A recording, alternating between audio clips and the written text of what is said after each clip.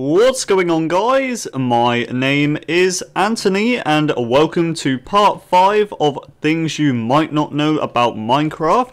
Now you guys know the drill, if you want to see a part 6 of the series then be sure to leave a comment in the comment section below and if you guys do enjoy today's video then be sure to give this video a like as it is going to help me out a huge bunch and if you are new to my channel and you enjoy my videos then be sure to subscribe as well.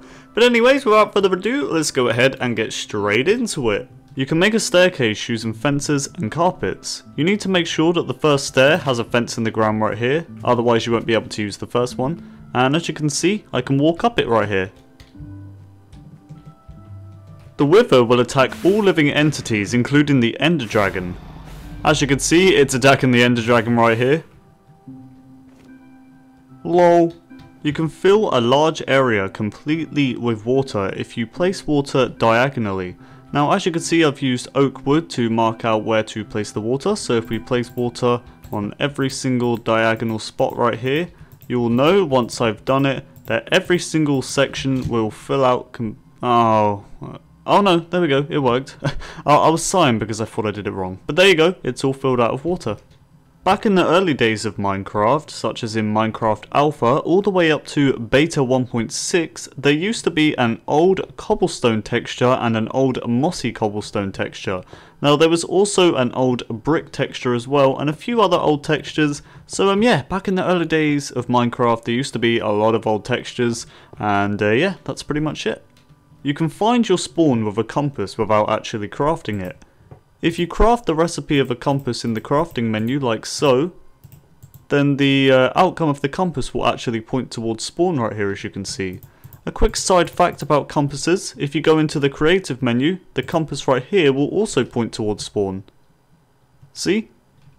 Critical hits only occur on mobs when you are falling and not jumping. So if I jump and hit the mob, you will see that the little particles don't come out of the mob which means it wasn't a critical hit but if I fall when hitting the mob, you will see that the particles came out, which means it was a critical hit, which means you need to be falling when hitting a mob, say if you're killing a skeleton or a zombie or anything like that.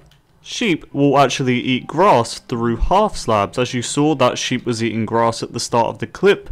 And a quick side fact, there is a 0.5% chance that a pink sheep will actually spawn in your Minecraft world. Iron golems do not take full damage. See? As you can see it didn't get hurt and they also can't drown as well. You can spawn a giant zombie by using the following command. Wow. you can actually sleep during the day if it is thundering and raining. So if we change the weather to thunder, and let's just wait for it to start thundering in the world, we should be able to sleep. And bear in mind it is daytime right now, and uh, yeah, let's just wait for it to, uh, you know, give a thunder strike. There we go. Now, if we try to sleep, you will know that uh, I can sleep right here. And it gets rid of the rain and thunder at the same time.